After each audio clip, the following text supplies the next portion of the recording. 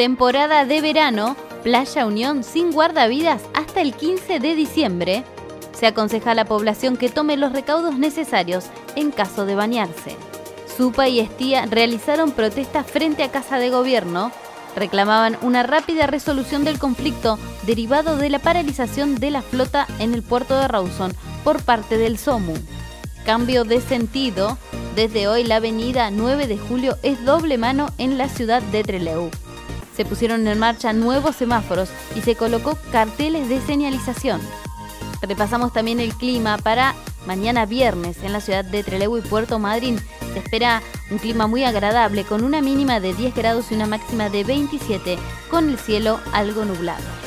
En Comodoro Rivadavia se espera un día con el cielo algo nublado, una mínima de 10 y una máxima de 24 grados.